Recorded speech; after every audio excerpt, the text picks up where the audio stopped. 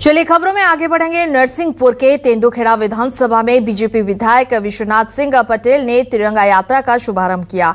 इस तिरंगा यात्रा में बीजेपी के जिला अध्यक्ष, पूर्व राज्यसभा सांसद समेत तमाम पदाधिकारी और सैकड़ों की तादाद में युवा कार्यकर्ता शामिल हुए, जिन्होंने अपनी बाइक पर तिरंगा लहराते हुए पूरी विधानसभा में बाइक रैली निकाली।